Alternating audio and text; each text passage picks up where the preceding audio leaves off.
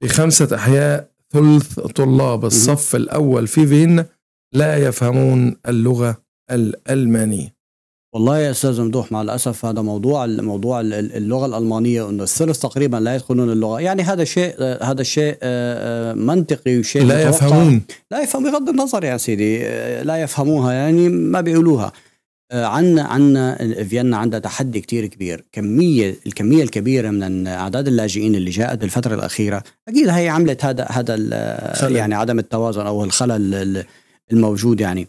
ولكن هذا واقع زي الكريم. هذا واقع وتحدي يجب على بلدية فيينا يجب على حكومة فيينا أن تقوم بتجاوزه بصراحة. بس الأخطر من ذلك الأخطر من ذلك بيقول لك التقرير في أشخاص ولدوا في النمسا وأهاليهم يعني من القدماء من الجيل الأول والثاني وكذا وأيضا عندهم مشكلة باللغة الألمانية. إذا هناك يوجد خلل أو استهتار بصراحة بتعليم الأبناء اللغة كان من خلال المنزل أو من خلال المدارس نفسها. يعني إحنا ممكن هون نحط الخلل ليس فقط على موضوع كثافة اللاجئين أو كثافة الأجانب أو المهاجرون موجودون هنا في النمسا لا. أعتقد هناك يوجد خلل بنظام التعليم نفسه. إلى أي حد جودة التعليم يا أستاذ ممدوح هي فعليا قادرة على على على على على آه، إثمار أو زيادة أو رفع مستوى اللغة الألمانية عند عند هؤلاء الأطفال. صراحة سؤال كبير هذا. هذا بده إجابة من خلال المعنيين بهذا الأمر. بس 66% نعم. آه، نسبة كبيرة نسبة جدا. كبيرة طبعا وهذا هذا تحدي. من نسبة ال 66% اللي هم لم يفهمون اللغة مم. 77% منهم مولودين هنا آه. ودخلوا كمان روضة الأطفال.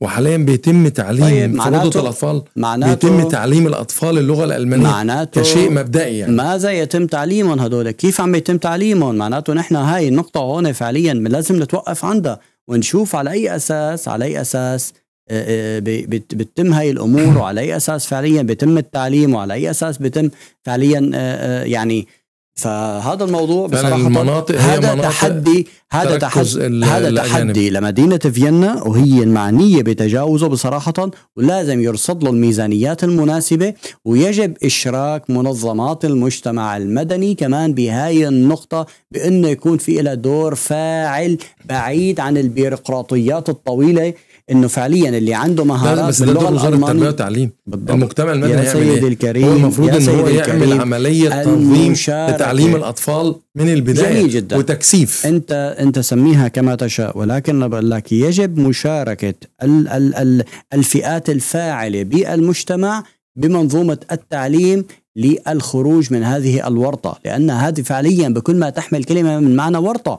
يعني هؤلاء الأطفال نظام التعليم حي بالألماني حنغير لغته لا رح يصير لا لا إنجليزي ولا رح يصير عربي ولا رح يصير كردي ولا رح يصير أي لغة. فبالتالي هؤلاء الأطفال هؤلاء الأشخاص الموجودين يجب الضغط بكل الجهات بما فيها بما فيها نظام التعليم من أجل إجبارهم وتعليمهم اللغة. لأنه لا نريد أجيال جاهلة. لا نريد أجيال مغيبة عن واقعها. لا نريد أجيال وأشخاص يتحدثون مفردات وكلمات لا أحد يفهمها إلا هم.